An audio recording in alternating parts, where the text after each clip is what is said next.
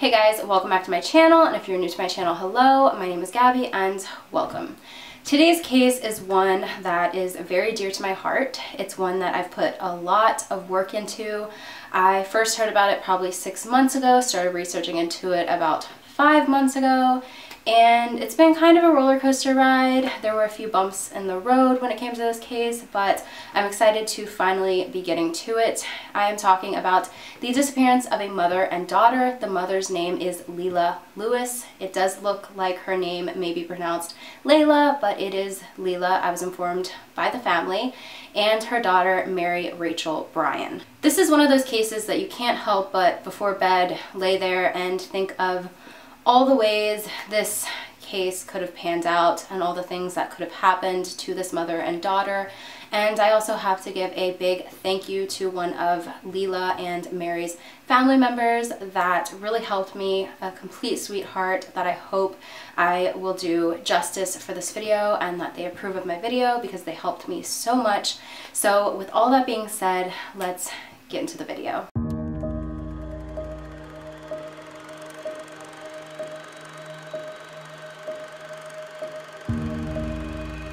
This is the strange disappearance of Leila Lewis and Mary Rachel Bryan. Leila Lewis was born on September 6, 1904 in Bladenboro, North Carolina in Bladen County. According to Ancestry, she had 13 siblings and in 1923 she graduated from Bladenboro High School and then went on to become a nurse training at James Walker Memorial Hospital in Wilmington, North Carolina. The hospital where she was a nurse at, she met Eddie, or E.C. Bryan. He supposedly came in because of a gunshot wound to the leg that he received from the husband of a woman he was seeing at the time, or at least that's how the story goes. Despite his reason for being there at the hospital that day and the reason they ended up meeting, they fell in love very quickly and married in June of 1931. A few years later, they welcomed a beautiful baby girl named Mary Rachel Bryan. Then Leila quit nursing and started working at Atlantic Seaboard Coastline Railroad in Wilmington, North Carolina. They lived in the coastal town of Carolina Beach in a cute little beach house not far from the water.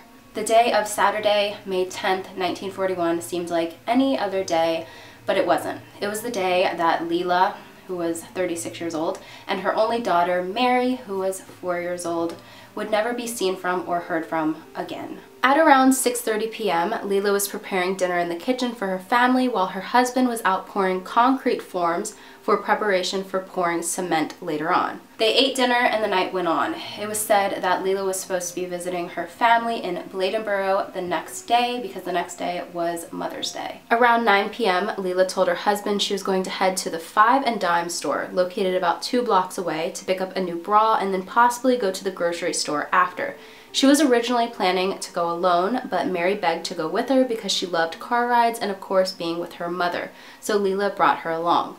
No one is entirely sure the exact amount of money that Leila had on her when she left the home, but we do know that she did make sure to bring $2 to get a bra. I looked up the price of bras back then and they were roughly around $1.50. They left an EC's 1935 black A Ford Coupe with the license plate number 219056. They did not have much gas in the tank at the time, but that didn't bother Leila because they weren't going too far. After that, EC fell asleep either on the couch or the recliner, somewhere in the living room. He kind of dozed off. And then a little bit of time later, Leila's brother, Barry Lewis, stopped by the house. Barry was a sheriff's deputy in Bladen County, which was Leila's hometown, about an hour and a half away. He came in town for a dance, and since he was in town, he was going to offer Leila a ride back home after, since she was planning to visit the next day anyway. When he arrived at the home a little bit after 9, he was told by EC that his sister and his niece was not home. Barry went to the dance, came back to the house around 10 o'clock to see if his sister and his niece were back home. They weren't, so he decided to go looking for them. The Five and Dime store was located on the boardwalk. He looked around for them, for their car, and couldn't locate them anywhere. He searched surrounding areas and they were still nowhere to be found. He went back to the house and told EC that he couldn't find them anywhere and they waited until about 12 a.m. and Leila and Mary were still not home yet, so this is when they decided to phone police and tell them that they were missing. A search began the next day and on May 12th, New Hanover Sheriff's Department began helping and they organized a team to scour the beach and wooded area between their house and the boardwalk. A private plane was also used in the search to search back roads and rivers, but they found nothing. You have to think that they were not only looking for a mother and daughter, an adult and a small child, they were looking for an entire vehicle. And this is what they were mostly searching for because if they found the vehicle, they would probably find them. On June 14th, the North Carolina Bureau of Investigation was called in and they sent two agents to investigate. On June 23rd, the Bureau of Investigation telegraphs the War Department to send over 200 soldiers to help in the search. On June 28th, the Wilmington newspaper sends out a request to Florida newspapers and radio stations to be on the lookout for a mother and her daughter because some people in Florida claimed they saw them. The next year, in June of 1942, an electric submersible detector was used in the search inlet and waterways near the home for any clues. All of this and still nothing. There were a ton of supposed sightings though, all along the East Coast, all the way from New York down to Florida. A majority of these sightings, though, were in Florida, but none of them really went anywhere. They could not find that vehicle anywhere. Still, to this day, it is like the earth just opened up and swallowed them. They completely vanished. There was one newspaper article that stated Leila stopped at the gas station and bought 13 gallons of gas. This was only one article though, and it was never brought up again from any other sources. The search went on and on, and like in many cases, whether it's a disappearance or a murder case, when it comes to somebody who is married, a lot of the time, you look at the spouse. Maybe they had a rocky marriage, maybe it was an abusive marriage. When it came to EC, there were no reports I could find of him possibly being an abusive husband or father. If he was, then possibly Leila up and left with her daughter, but even if she did, she was close to her family and the chances of her never speaking to them again is very slim. I'm not saying he wasn't, but it's unknown. Her mother didn't like him though, only really because he had been previously married and was divorced, which was insanely frowned upon back then. So he did offer a $100 reward to anyone who came forward with any information that may lead to the discovery of his wife and daughter. Now $100 doesn't seem like a lot, but in 1941 it was about $1,600 in today's time. Some people think that maybe because she couldn't get a divorce, because family and friends and society back then would have looked down upon it so much, maybe she thought that leaving was her only option. If she was going to leave though, she would have also needed as much money as possible, but she even left her jewelry at home. Jewelry she took off and laid next to the sink while she was cooking. If she wanted to skip town, she would probably have taken those to sell. Then again, according to EC, which you have to take what EC said with a grain of salt because EC's story is pretty much the only one we have to go off of when it comes to what happened the night that she disappeared. It was said that Leila was planning on going to the store by herself and that Mary begged to go with her. So if Leila was planning on 100% just leaving and skipping town, wouldn't she have made sure her daughter went with her that night? Unless this entire story is a lie and EC definitely did have something to do with their disappearance. But then again, you have to think what happened to the car. If he was going to get rid of his wife and his daughter, why would he involve the car?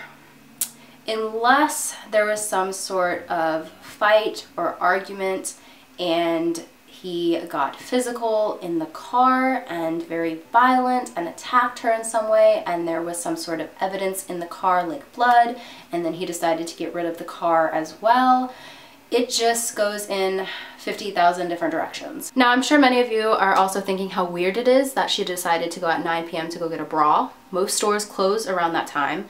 Yes, she did live close, but why did she want to go so late? This factor is brought up in today's time, but no police or newspapers brought this up back then as being strange, so maybe stores on the boardwalk stayed open a bit later. So many things in this case just don't add up, but in 1948, both Leila and her daughter Mary were officially pronounced dead even though they never found their remains. In the year 1949, an inmate in Florida named Daniel Webster confessed to the crime, but he later recanted his confession saying he only said it so they could arrest him and take him back to North Carolina and he could serve his time in prison there where he was from.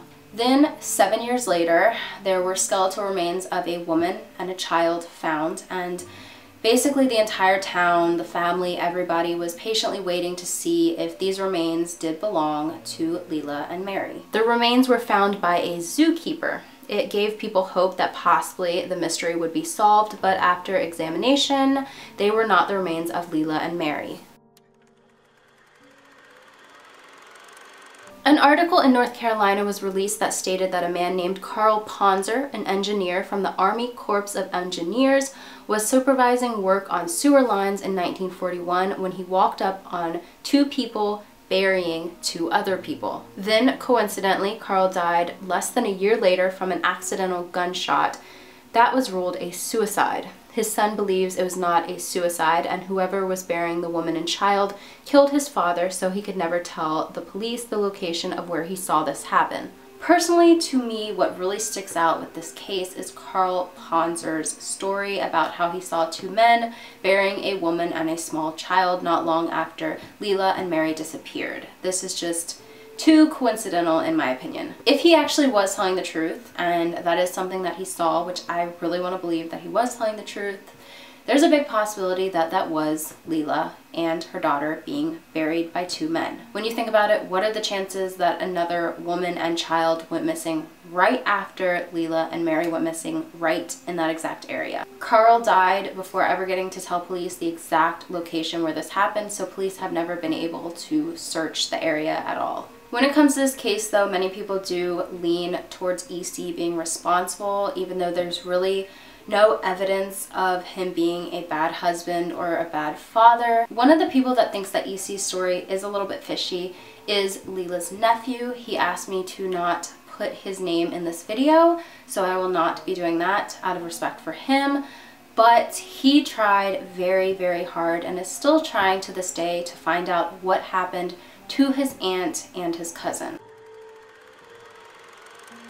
In November of 2008, the current homeowners of the Bryans' home let crews search under the floor using deep penetrating radar. They found strange anomalies under the surface. In 2009, they began to dig. All they found in the end, though, were animal bones, possibly from a deer, and glass. According to her nephew, they were not looking in the right places with the ground penetrating radar. Her nephew's heart just sank when they hit another dead end. He was sure that they were going to find something and like he said, it's almost like they evaporated from Earth. I also have to mention that a story called The Incredible Disappearance was published in True Detective, a magazine I've mentioned multiple times before on my channel, in the 1950s all about the case. Some information is incorrect, like that a pharmacist claimed Leila had come in to buy bichloride of mercury before she disappeared. This is the only place that this was ever mentioned. After this came out, some people believed that maybe she did buy bichloride of mercury to try to take her own life, but you do have to remember that she did used to be a nurse and she would have known that taking a large amount of bichloride of mercury would result in a very long and painful death. And no matter the mental state she was in, many people just don't think that this is something she would have done. But even if she did decide to take her own life, whether it be by chloride of mercury or some other horrible, tragic way, what happened to Mary? It's not impossible, but the chances of her also taking Mary's life in the process are just very, very, very slim. So possibly she took her own life and then put her in someone else's care. But why would she do that? Wouldn't she have just skipped town with her and start a new life so she could be with her daughter? Of course, she wouldn't have wanted to leave her family and never speak to them again. But this was 1941. This was a completely different time and divorce was extremely, extremely frowned upon. And maybe she felt like this was her only way out. Maybe she felt like she didn't have another option because if she did go to family or friends back then, there is a pretty much 95% chance that any of them would have told her to just suck it up and stay with him. That's just how it was back then. All we really have in this case, even 78 years later, is a bunch of theories. The biggest question is how on earth could their car just vanish as well? They searched lakes and ponds and never found an entire car. but a windshield did end up washing up onto land at one point, but they were unable to tell if it was 100% from EC's vehicle Leila used the night she left. Like I stated before, a large percentage of people leaned towards her husband possibly being responsible. He was ruled out as a suspect though pretty quickly because there was no evidence. Some leaned towards her possibly driving her car into a body of water. There was a place called Snow's Cut, which was a waterway directly into the ocean that they primarily searched but never found anything. It just honestly does not look like they ever made it to the boardwalk. So if their intentions were to make it to the boardwalk, to go to the Five and Dime store, they somehow disappeared within the two blocks to the boardwalk because it was a Saturday night. Somebody would have seen them. I think one thing that is so confusing is that they were going such a short distance away from their home. They asked people at the stores she was supposed to be going to that night, like the Five and Dime store and the grocery store, and no one working there the night that she was supposed to go there had seen Leila or Mary that night.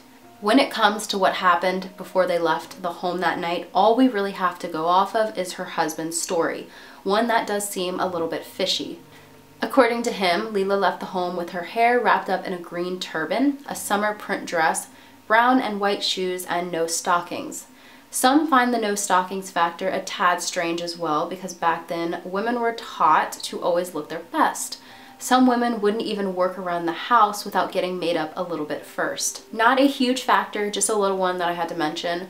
One interesting theory though that I do have to also bring up and one that her great great grandniece agreed was a good one was that possibly Leila was in an abusive relationship and she saw how her husband was working on cement molds and became terrified. He had plans to dispose of her body in some way so she up and left. That is a possibility.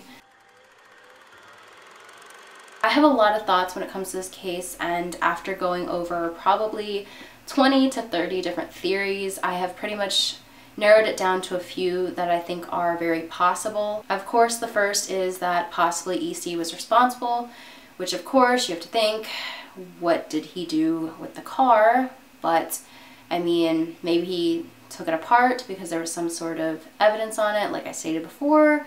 Maybe he did dispose of it in a lake or a pond somewhere or a lake or pond farther away that police did not get to search. But even if he was an abusive husband and did something to his wife, it is strange that he would have also done something to his daughter if he was angry at his wife in some way. I mean, you have to be pretty evil to take your wife and child's life, but I don't know. The world can be an evil place at times. The next is that Leila did skip town, but of course you have to think back that when Leila was leaving, according to EC, Leila was going to go by herself and Mary begged her to go, so this doesn't really make much sense. Leila's mother did look down on divorce, so maybe she figured that she would just skip town and never return and never talk to her family again, so they couldn't look down on her for that decision. There were all those supposed sightings where people claimed to have seen Leila and her daughter Mary all the way from New York down to Florida,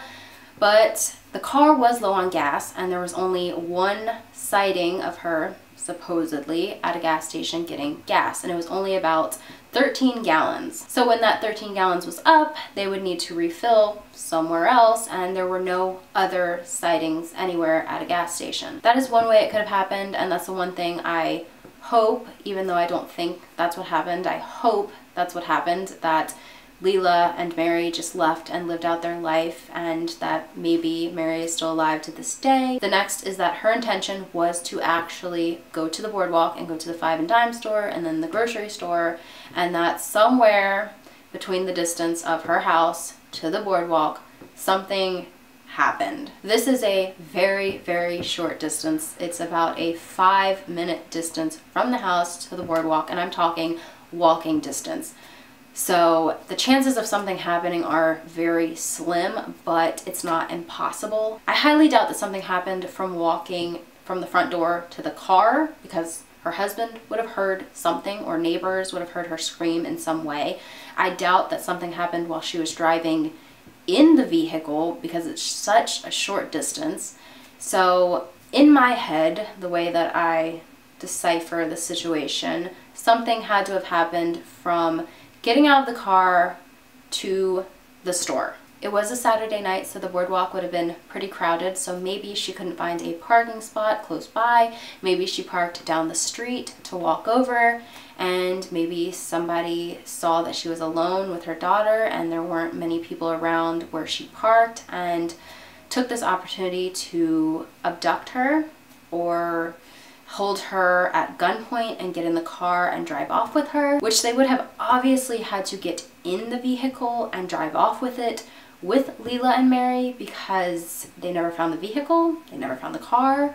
It's just, this case baffles me. If you do want to learn more about this case, which I suggest it because it is a rabbit hole you will get sucked down into, I will leave all my sources down in the description. Go check it out. And also leave some love down in the comments because some of the family members will be watching this video and I want them to see some amazing comments and I want them to see that there are people who still care about this case and want to learn more. And also, as always, leave any theories you have down below in the comments because I love reading through them. And even as the researcher of these cases, you guys come up with stuff that blows my mind that I never even thought about and maybe the families never thought about either. That's it for today's case and if there are any updates I will let you guys know and I will see you guys in my next video. Bye guys!